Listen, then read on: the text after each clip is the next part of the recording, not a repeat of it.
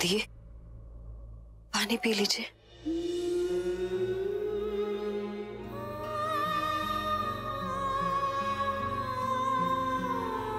पूरब जी पानी। अब हम कुछ नहीं कर सकते थे।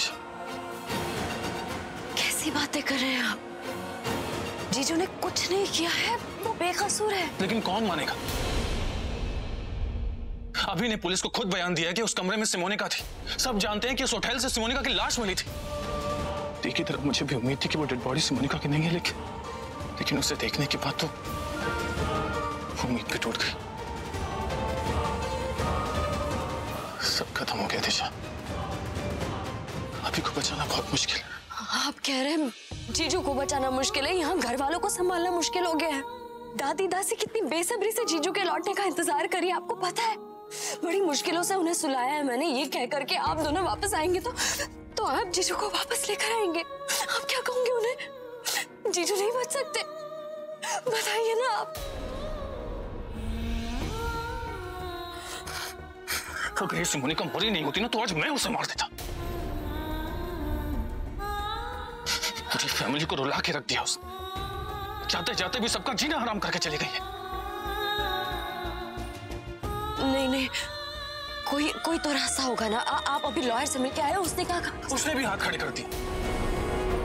कहता है कि अभी की सेलिब्रिटी स्टेटस होने की वजह से प्रोसिक्यूटर ने स्ट्रॉन्ग केस बनाया ताकि उसे जमानत नहीं मिल सके। अब कुछ नहीं हो सकता यार। बॉडी भी सी मोनिका की है ठीक है। अभी पाजी को ना कोर्ट में पेश होना ही पड़ेगा। अरे ऐसे तो केस अभी के अगेंस्ट चला जाएगा यार। हमें कुछ तो करना होगा। कोई एविडेंस कोई प्रूफ ढूंढना होगा जिससे केस उसके फेवर में हो जाए। फ़िलहाल तो कुछ नहीं कर सकते पूरब। अब तो ये देखना है कि कोर्ट क्या डिसाइड करता है। मतलब हम चुपचाप बैठे रहे। अभी को बचाने के लिए कुछ ना करें। पूरब तेरा दोस्त हूँ यार जो भी कहूँगा सही कहूँगा। और भाभी जी से बोलना कि अपनी तरफ़ से कोई भी कदम मत उठाए। ऐसा करने से अभी का केस और बिगड़ सकता है। इसको क्या हो गया?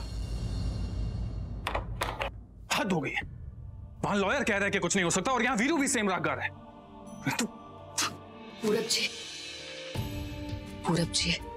किस तरह से रिएक्ट कर रहे हैं दी ने हमसे कहा है ना, हमें हिम्मत नहीं हारनी हमें शांति से इस मसले का हल ढूंढना होगा। देखिए पूरब जी, अगर आधे गिलास पानी को अगर आधा खाली कहे तो कमी सी महसूस होती है। पर वही हम उसे आधा भरा हुआ कहे तो उसके मायने बदल जाते हैं। बस हमें भगवान पे भरोसा रखना है कि सब कुछ ठीक हो जाएगा। सब कुछ।